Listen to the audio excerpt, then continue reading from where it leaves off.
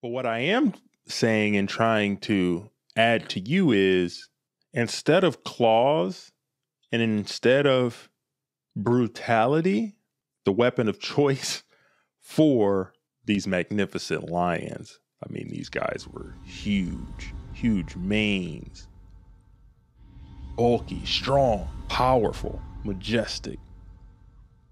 Instead of having those weapons, why don't you arm yourself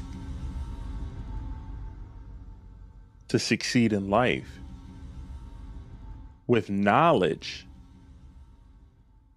with awareness, with critical thinking, with determination and mental fortitude?